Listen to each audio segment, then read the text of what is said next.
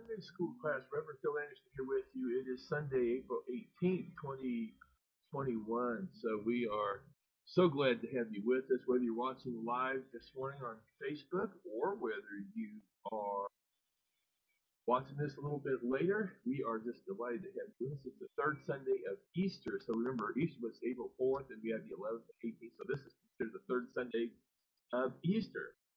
And we continue to rejoice in the reality of the resurrection of Jesus Christ, Lord and Savior.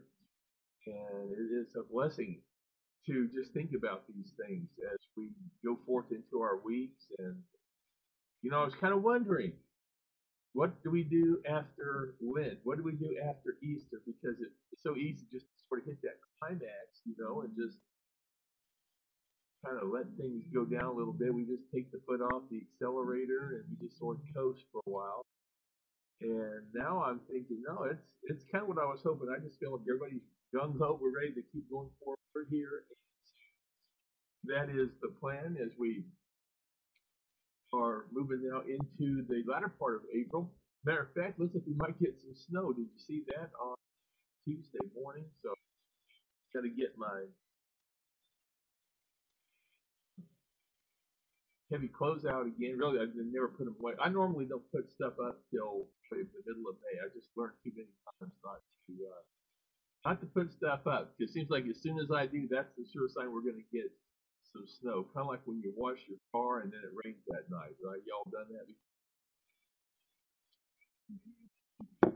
So, looking really forward to our service today. I'm hoping it's going to be an encouragement. We're going to look at First John and chapter 3, verses 7 talks about how we live our lives so that we are, are believers. I think it adds to that question, where do we go from here? Kind of like what we were saying after Easter. Now, now what? What do we do? Where we go from here? Because we momentous season of Lent, Easter, than that great celebration, even though it was a little bit more subdued, granted, this year than in some years. At least we still got to meet as a church family but now where do we go? And I think these these, these uh, passages here really help lead us now into that area that we go to. So I'm not going to read the scriptures for the services. We'll do that in the service. I do want to read one, however, and it's going to be the one from the gospel which we will read in the service, but there's a part of this that I think is really interesting. Jesus now is responding, and you know, he, comes back to his disciples, and, and y'all ever heard of that expression? It's just too good to be true, you know. And, and I believe the disciples really understood that this was Jesus standing there in front of them, and yet it was almost too good to be true. I mean, when they had received themselves, everything they had hoped for and dreamed of had come crashing to a tragic end on the cross only to see Jesus Christ rise from the dead, even though he told them he was going to do it. It just was hard for them to really gather that and to really grasp it. And so now Jesus has not only risen from the dead, but now he's the disciples. And he stands among them and he says to them, Peace be with you.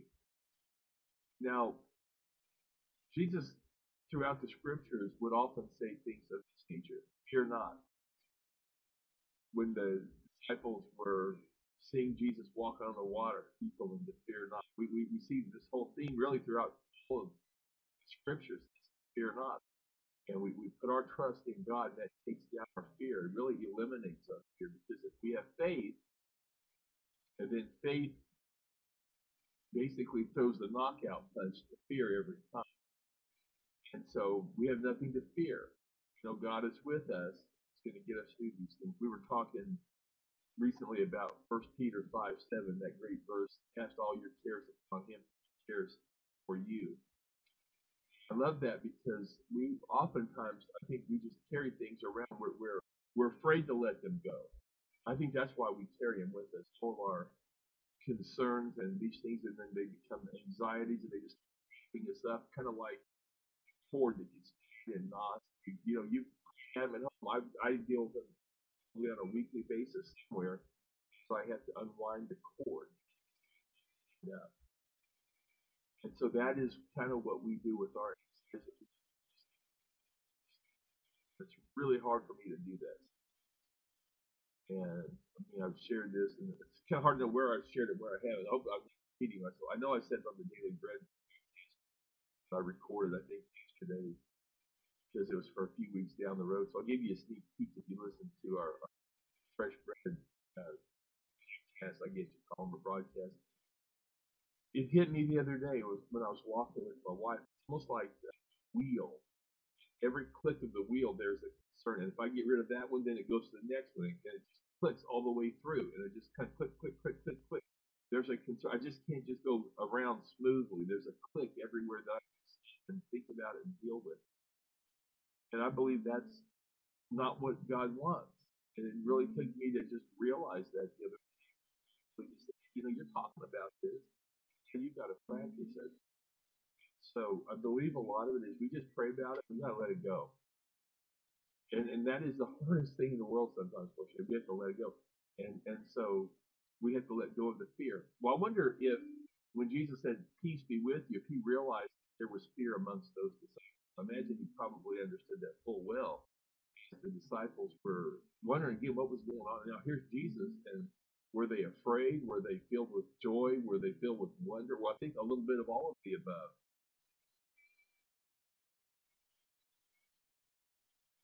Because here's what Jesus says in verse 37, the next verse. It says, They were startled and terrified. Now, if that doesn't mean they're afraid, I don't know what it does. Fearful. Here, Jesus has always told them, Don't fear. Do not fear. Don't be afraid. And they thought they were seeing a ghost. And Jesus said to them, Why are you frightened? And why do you doubt your so so you see two things going on here. When when when you're fearful, you're frightened, you're going to have doubts. Those two are just like peanut butter and jelly. You know, they just go together. And that's why I tell people, don't doubt. Doubt is like the entry point for fear. Um, I know people who say, well, it's okay to doubt. I've never thought it was okay to doubt. I mean, I mean, God will deal with our doubts. Granted, I mean, I don't think that's going to be like sin He doesn't forgive, or whether it is even a sin. But I believe He wants us to come to Him in full faith, full belief. So I just don't see any room for doubt and faith at the same time. They're they're at odds with each other. One will be present and the other will be absent. I don't think you can have hate and doubt coexisting. And we have to train ourselves not to doubt. If you're a person who doubts, then then try to get through that and ask God to get rid of those doubts. Not to, we're going to function in faith once it. And then what do we have instead of doubt? That little void, that vacuum, we fill in with our we just continue to believe. We bring that faith up. It's like fanning a fire, you know. You just do this, and that little spark, pretty soon the fire just really starts raging. And we've all been around a it. We've seen a fire kind of start out big, and it kind of goes down. Well, that's maybe how our faith is sometimes. You either throw another log on it, or you fan it, and it flares right up. That's what our faith will do. So I believe Jesus understood that, and and he wanted them to believe in him, and he also met them at their point of need, where if they couldn't believe, he t- he told them to touch me and see. And when he said that, he showed them his hands and feet. And I like this. While in their joy, they were disbelieving. I think they were in that process. Is this really true? Is this really? Is this is this really happening? I believe that at that moment, their doubts were fading away, and their joy and their faith were up. I think we're seeing the decline of fear and the increase in faith here just in reading this. And then I think it's interesting when Jesus asked if he got anything to eat, and they gave him a piece of broiled fish. I like that. It was broiled, not baked, not fried. I like that broiled fish. I love the little things that the Bible has in it, things of that nature. So that's where we're at today. I want to uh, keep this re- relatively short. Um, I want to give you time to get here. Coming to Oakland, we, we we are excited for our service today. Next week, I'm really excited too. I, have already done a sneak peek at the, the 25th of April.